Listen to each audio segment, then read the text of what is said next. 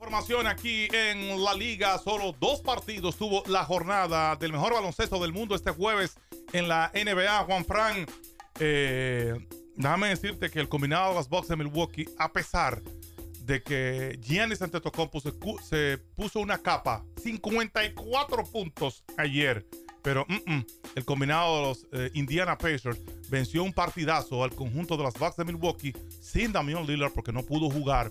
Este marcador finalizó 126 a 124.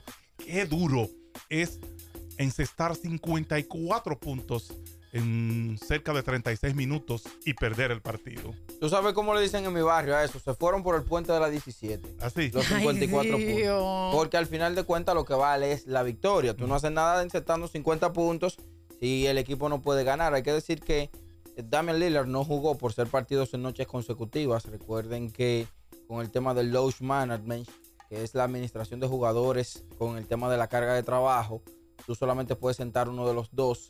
Y en este caso, como no era un partido de televisión abierta, el equipo de los Bucks, por ser, repetimos, partidos en noches consecutivas, decidió que Damian Lillard estuviese sentado.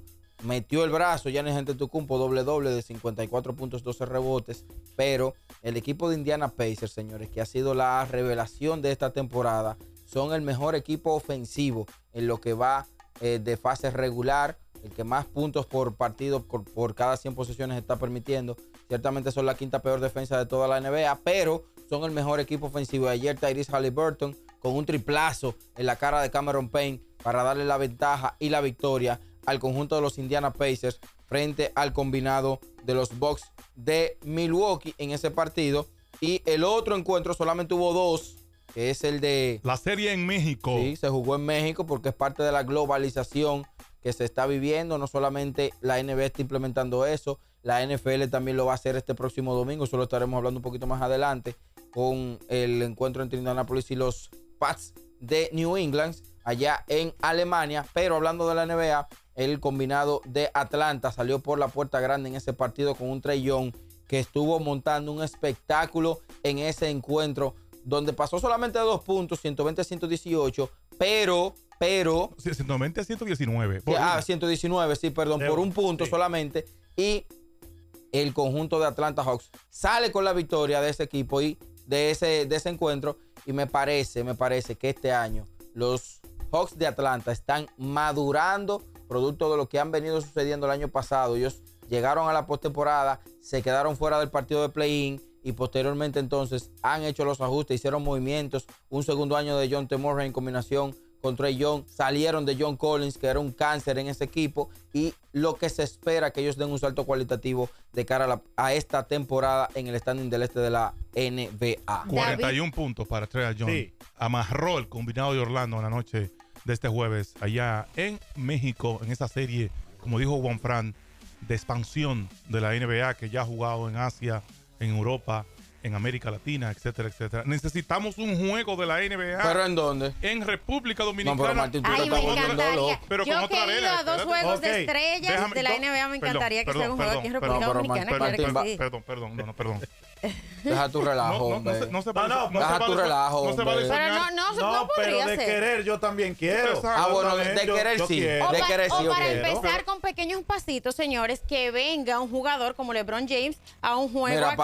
Pero él fue a Puerto Rico a un A juego del Puerto TBS. Rico, Pero yo- una liga que es más vieja que la Pero NBA, fue a un con una del mejor TBS en estructura. Puerto Rico. Pero yo no te dije que. ¿Por qué no puede que venir a la estamos- No, hombre, no. Dominicana. Primero, el palacio no tiene aire. yo Ah, no tiene- No tiene Las aire. condiciones no están gotera. dadas. Tiene gotera. Las Tiran condiciones pote. no están dadas entonces. Imagínate para que un LeBron juego, James Martín, antes de venga a un pasar con- juego con el estadio. del Lakers TBS. Golden Ay, State No, en el no, Palacio no. de Deportes. Viene Lebron. Lebron viene mucho aquí, a- Sí. allá, a, ca- a Casa de Campo y a vacacionar donde va los ricos aquí. Río Lo San llaman, lo llaman. Vamos a suponer que Rafael Uribe, Gracias, presidente gracias a de la Dios que tú trabajas ahí en. No, porque yo no estoy hablando de la el- organización. Abedino lo está haciendo bien. No, es la bien. estructura del palacio Ah, ok, que no tiene las condiciones. Tú imaginas un juego. Va Meso, Mauricio Báez. Picante. LeBron James Corsay. No, Falta no, a. Juan Miguel Suero de No, Víctor Lee. A mí que me dieron, a mí que me dieron una vez con una botella. Un tipo que dio este lado. 100 pesos por una grada. La. En la última vaina. Y viene encojonado con un pote de media botella de agua, caliente, porque Y te- ya no fría. Que pagó 100 pesos por esa botella de agua. Un zumbón en los pies de LeBron James. No. Tiene- Sí, tienes- aquí un moretón, Tienes, un moretón. tienes toda la razón No. por estar desacreditando tu liga. Sí. No, no, no. Y eso a, lo a la trabaja ya, estructu- Martín. a la Gracias a Dios. estructura, no a Badina. No, pero de eso yo estoy muy consciente, Juan Fran. Te un, digo, un calorazo que hacen en ese Mira. Palacio de los Deportes. ¿Qué va a hacer LeBron? Al de Babeso le dio, le dio cañera, le dio tres veces en un juego. ¿Cómo se llama? Calambre. Pues el calor no lo aguantaba. Señor, de aprovecha dejar tu denuncia. A la denuncia formal ahí. ¿tú me quieres dejar hablar? ¿Se puede- ¿Se puede poner querella aquí? ¿Tú me claro. quieres, tú me quieres Mira dejar que el que hablar? más construye casa. Adelante, Martín. Por favor, ¿me quieres dejar hablar? Dale, Martín. Dale, perdón. Yo sé que se vale soñar. Lo mío era, ojalá en algún momento. Yo sé que no estamos preparados ni para un partido de baloncesto universitario en la República Dominicana. Yo lo sé. Pero no se vale soñar, Juan Fran. 100%. Sí. El, elijo, elijo soñar. Él dijo soñar. Elijo Yo- soñar. Me gustaría Milo- ver un juego de NBA en República Dominicana. Ya tuvimos un partido aquí de pretemporada. No sé si ustedes lo recuerdan. Aquí estuvo el combinado de Minnesota Timberwolves frente al Heat de Miami. Creo que en el 1999, en el 2001, no Hace recuerdo. uno- hace unos años más de ya. 20 Acabado de años. construir el asunto, claro. Pero sí se puede. Y sí se puede tener partidos de grandes ligas. Ya lo claro que, tenemos- Claro, hemos tenemos tenido dos en partidos de, marzo. de exhibición en marzo hay dos. que no estamos preparados para partidos oficiales. Eso es otra cosa. Pero no lo merecemos. Sí, no merecemos. No, y hay que trabajar con miras a estar preparado en algún momento, señor, porque somos un país en vía de desarrollo, pero eso no quiere decir que tenemos que quedarnos así. de la liga, de O sea, la que- mejor liga del mundo en baloncesto que se llama la NBA. Una liga que revolucionó David Stern, el ex comisionado de la NBA. Ahora está Adam Silver, pero Stern mercadeó esa liga de una forma brillante y a nivel, deporte, a nivel deportivo pocas ligas se manejan como la NBA, además de que resalta muchas sus figuras, Juan Fran. Se cumplen 40 años, Martín, dicho sea de paso. Eso fue en 1984 cuando le dieron la- las riendas que sale O'Brien. O'Brien, que de hecho el título de NBA lleva el, ti- Ah, el nombre, ah, el nombre de Larry comisionado. Sí, y él, con él a la cabeza, dicho sea de paso, que se está cumpliendo ahora en esta gira por México, 40 años de su nombramiento, él es que oficializa irse a Asia, a partidos, Londres, México, Sudamérica, llevar toda la NBA, Expande. ampliar, expandirla de una manera y miran lo que se ha convertido, que sale él, sigue Adam Silver y ha eh, trillado esos mismos pasos porque sabe que de alguna manera u otra esto le suma. Lo hace el fútbol, lo hace el béisbol, la NBA no se va a quedar atrás. Es decir, si la NBA es, es una liga de muchos del mundo, pues vamos a llevársela al mundo. Como inició David Stern esa gira a nivel mundial, Juan Frank. Y Dave- eso fue una revolución, eh, Paloma, con él. Y Adam Silver sigue brillando ese mismo camino. Bueno, pues sí, hay que, hay que resaltar que David Stern, sin lugar a dudas, revolucionó en la NBA. Abogado, neoyorquino, un hombre visionario, que muchas de las cosas que están pasando hoy en la NBA y la dimensión del juego, de la fanaticada y de lo que se ha alcanzado, ha sido por visión de alguien que creyó en que se podía expandir, se podía crecer y lograr esos resultados para un deporte tan seguido como el baloncesto. Ya la NBA tiene partidos oficiales en China, Sí. en Francia, en España, en la India, en eh, Abu Dhabi, Sí. en Dubái, en México. Dubái está de moda. Y Sí, está pegado. Está pegado Dubái. Hay cuarto. que, Ahora, lo que, y lo hay seguirá que, así. y Y. Baseball United va para Dubái también. lo sea que hay que sí. destacar es que como llega David Stern a la NBA, es simplemente como una estratega mercadológica Ujú. para asuntos internos. Se le entrega la posición de comisionado de la NBA, pero lo que más destaca de David Stern es que tiene dos timbales bien puestos. Sí. Es un, es un hombre de verdad. O sea, no se amedrentaba para tomar una decisión drástica sin importar qué iba a pasar. Recuerden, recuerden, cuando hubo la famosa pelea entre Detroit e Indiana, al otro día él sale, él, dando una rueda de prensa y unas declaraciones, diciendo, las suspensiones son esta, esta, esta, esta y esta. Y el periodista, y un periodista le pregunta, eh, ¿quién es- ¿cómo fue las decisiones de tomar? Dice él, se tomaron de manera unánime las decisiones, porque fui yo solo que las tomé. O sea, Me de manera una- arbitraria. una buena actitud, Él ah, decidió sí. hacer es- estas cosas y muchos más. De hecho, fue David Stern que vetó el cambio de Chris Paul a los Lakers en aquel momento. porque la- el equipo de los New Orleans en ese momento era propiedad de la liga y él era quien administraba todo por el conjunto de dueños. Y lo que más destaca de David Stern es su personalidad de, de decir las cosas y hacerlas como él entiende que son correctas. Y nadie faltaba el respeto ahí. Eso no era de que cuica.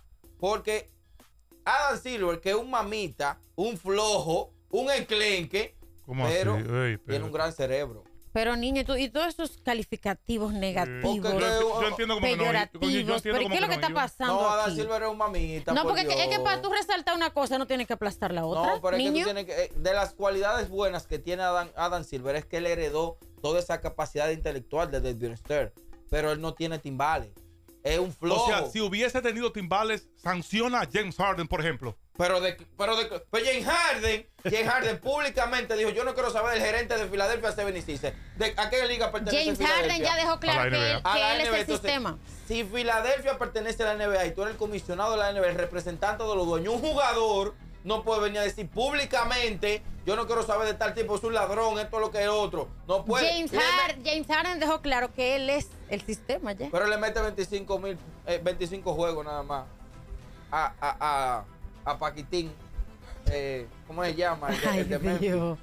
Señores. Pero tú, tú no puedes hacer deporte, allá crónica Morán. Deportiva ya Morán. así. Allá Morán. No, le mete no, no. 25 juegos haciendo tres likes con una pistola en la Sí, mano. Cuando sí. eso está prohibido. 25 juegos Sí. con una pistola tres veces.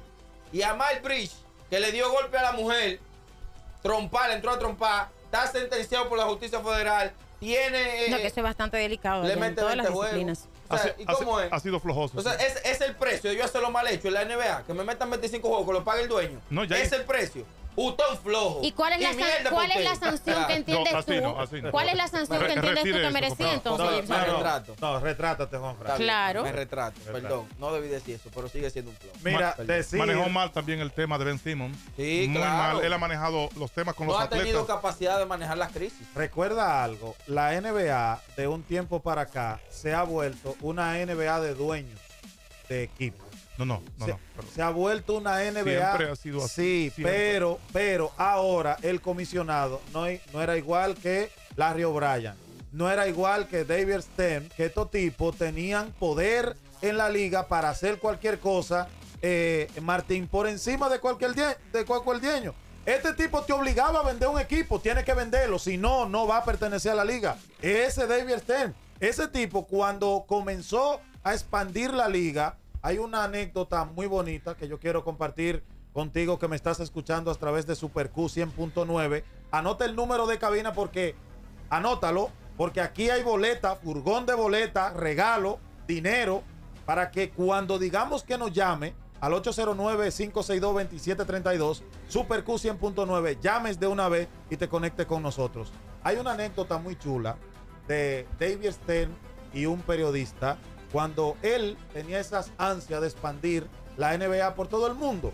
Se le acerca un periodista y le dice, en Argentina le gusta mucho la NBA y a mí me gustaría llevarla a Argentina. David le responde, ¿qué tanto le gusta? El periodista le responde, más del promedio y me gustaría tener la oportunidad de llevarla y producirla y reproducir las transmisiones en Argentina. Y él le respondió, dos mil dólares al año y cerramos el trato. El periodista se sorprendió y dijo, ¿estás hablando en serio? Tenemos un trato. Le dio las manos y a partir de ese día la NBA se reproduce en Argentina. Mira cómo comienza un tipo visionario que hoy en día Argentina es una de es uno de los países sudamericanos que compra los derechos de reproducción de la liga de lo más caro que hay a nivel mundial en Sudamérica, eh, Martín. Así es, un mago de la mercadología del deporte. Eso es Derby y Y pragmático, sobre todo. Yo creo que el pragmatismo lo define en esencia y perfección. Super Q 100.9, señores, 809-562-2732, porque estamos a punto de abrir las líneas para comunicarnos con todos ustedes y que nos expresen lo que ustedes sienten en este momento. Sobre todo, le pueden entrar a Juan Fran si ustedes quieren, no hay problema. Porque Yo- sí, porque no me gusta como tú. No, no, no. Tiene que bajarle un 2. eh, fue excelente comentario el que hiciste, Juan Fran, pero lo dañaste al final. Claro. Y no te vamos a poner el huevo porque Martín te quiere. Estamos en la parrilla de salida y le damos una vuelta rápida a los deportes que ellos no se atreven a mencionar. Por eso somos los delanteros en todos los deportes. La liga.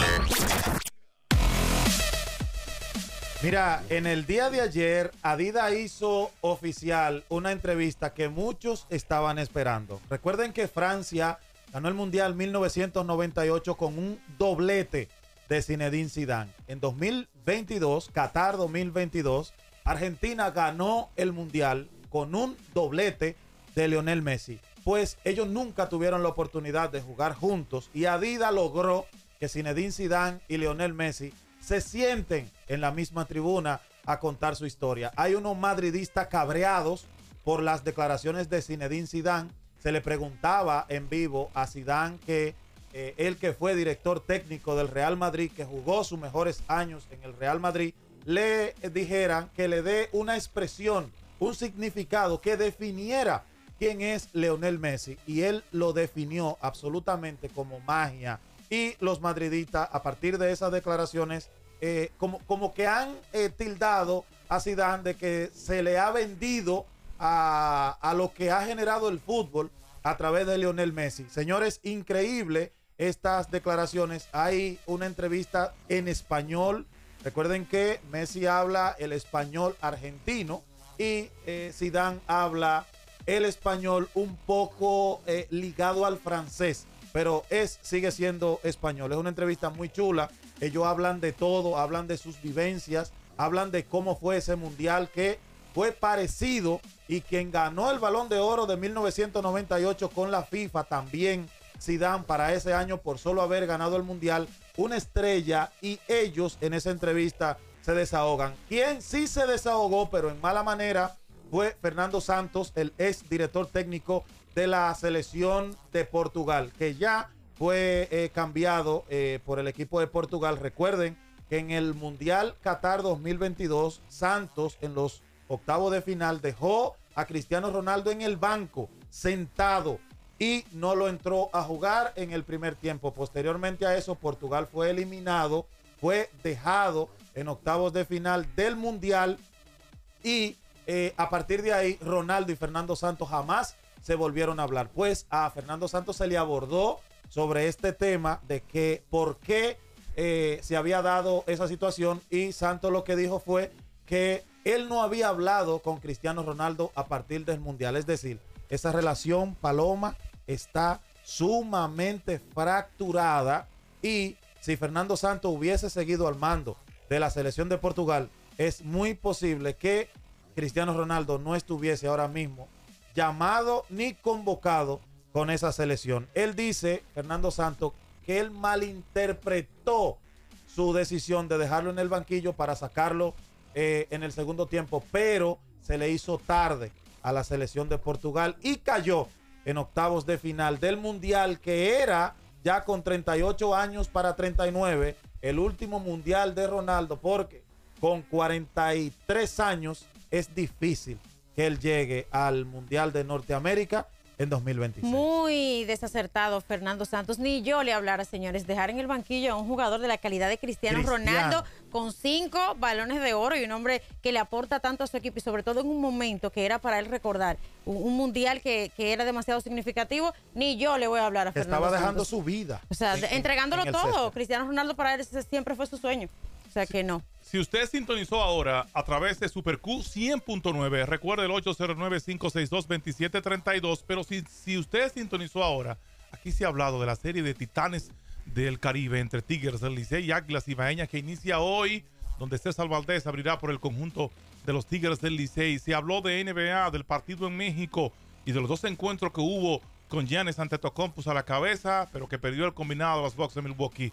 Se habló, se habló de David Shen, se habló de Zinedine Zidane y Leo Messi, se habló de Fernando Santos y Cristiano Ronaldo, entre otras cosas, se debatió. Y de los ganadores del bate de plata Ah, y con sobre nuestros tres todo, dominicanos. Para así que, que, eso busquen. Martín, Paloma, Juan Fran, todo ese contenido en YouTube que Exacto. sale un poquito más tarde ya y ahí está la transmisión en vivo para que usted siga de cerca de todo lo que se habló en la liga en el día de hoy, Juan Fran. Así es, bueno, hemos llegado a la parte final de este programa y Paloma, usted puede venir al centro, por favor.